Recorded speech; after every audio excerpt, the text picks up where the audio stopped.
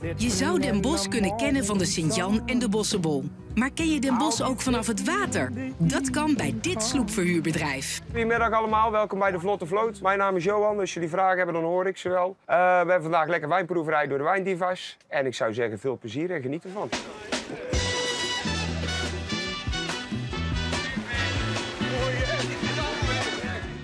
De liefde voor het varen komt van mijn opa. Elke vakantie vroeger eh, en elk weekend ging varen met hem. Ik kon eerder een eh, boot besturen als dat ik een fiets kon rijden. Dus eh, voor mij is het echt eh, ontspannen en eh, ja, lekker rustgevend.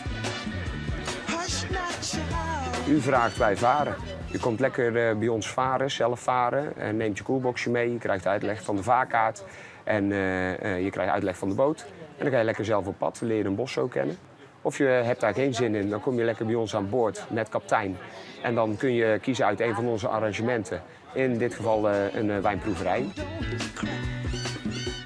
Dit zijn witte wijnen die je ook in Alicante gewoon op de terrassen drinkt. Het is een hele lekkere, frisse combinatie van een Sauvignon Blanc en een Merceguera.